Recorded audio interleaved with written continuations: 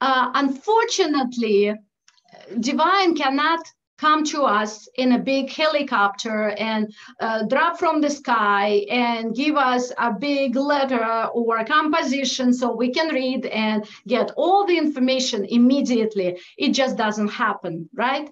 So we have to have some kind of divine communication system in order to communicate with the spirit world, in order for us to stay on the right path. Why is it so important?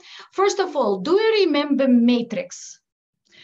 The, actually the first matrix, not the last one that came out, but the first matrix. The first matrix, how did Neo's journey, spiritual journey start? How did it start? It started with the divine guidance sign. Do you remember what it was? Do you remember why? Do you even know why they have to use this sign for, in, uh, why did they have to use the sign this way? Well, it was a white rabbit and Neo had to follow the white rabbit into the place where he first met with Trinity, and that's how his journey actually started.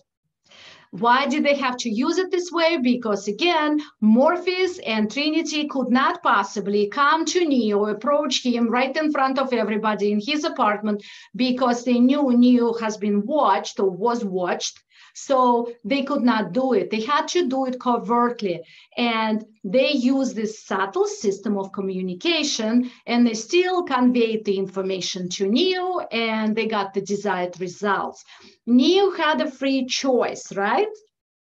he could follow divine guide, divine guidance he could, could follow the white rabbit or he could stay in his apartment and say, I don't believe into anything. This is crazy. I'm not going. I, I want to go to work the next day. I'm tired, blah, blah, blah.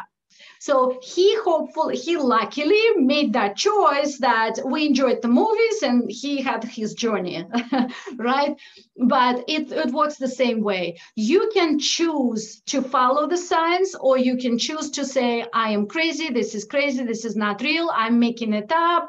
Well, okay, be my guest and stay where you are right? But I know you here, so you really want to experience this science and you want to work with them. And I'm very, very happy about it.